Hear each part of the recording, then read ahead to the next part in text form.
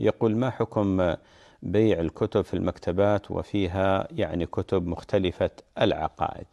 عبد الله من بريطانيا بارك الله فيك. بالنسبة للمسلم يجب عليه أن يسعى بطلب الرزق الحلال الذي لا شبهة فيه. ولذلك قال الله جل وعلا يا أيها الرسل كلوا من الطيبات واعملوا صالحا قال الله جل وعلا يا أيها الذين آمنوا كلوا من طيبات ما رزقناكم. صح عن النبي صلى الله عليه وآله وسلم أنه قال إن الحلال بين وإن الحرام بين وبينهما مشبهات.